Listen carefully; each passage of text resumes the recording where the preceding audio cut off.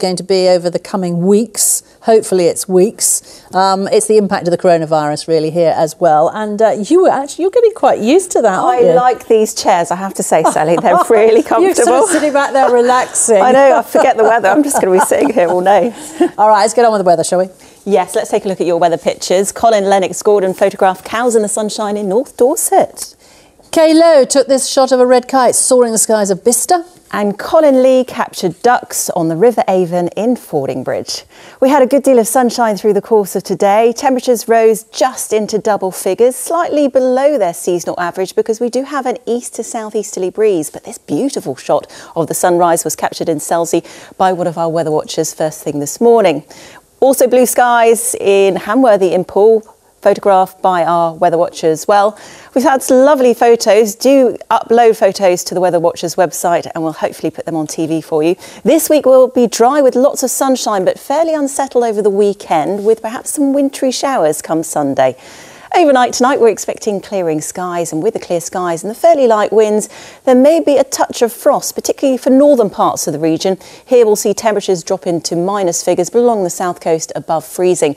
Now, we could see lows in northern parts of around minus four Celsius. Last night, we had lows of minus four degrees in Oxfordshire. Through the day tomorrow, after a frosty start, there will be a lot of sunshine. Maybe some hazy sunshine for northernmost areas with high cloud feeding in later on, but it's definitely a lovely day to get out in the garden. Temperatures will be up to around 13 or 14 degrees, a few degrees up from today, and that's because the winds will be slightly lighter than today fresher along coastal stretches. So on the inshore waters tomorrow, the winds are east or southeast, 3 to 5. The weather is fair, the visibility is good, and the sea state is slight. Now, tomorrow night will be very similar to tonight. We're looking at clear skies, chilly temperatures, perhaps into minus figures in some areas, minus three, minus four in the countryside. These are values in towns and cities. So it may be a frosty start for some first thing on Wednesday morning, but another decent, sunny and dry day. This weather front over the north may affect us over the weekend. That's one to watch. But during Wednesday, we'll have fairly light winds. They'll come in from the east or the southeast. The winds slowly changing direction as we head towards the weekend. But this weather front will sink its way southwards come the weekend, and that will produce some showers during Saturday, which may turn wintry come Sunday.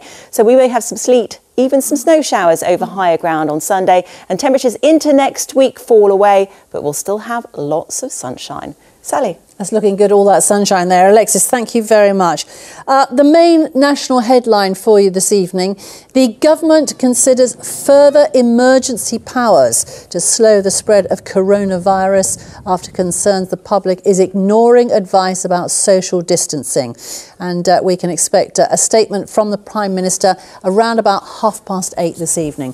Uh, that's it from us. We met more at 10.30 and we're back here tomorrow. Join us then if you can. Good night. Good night. Música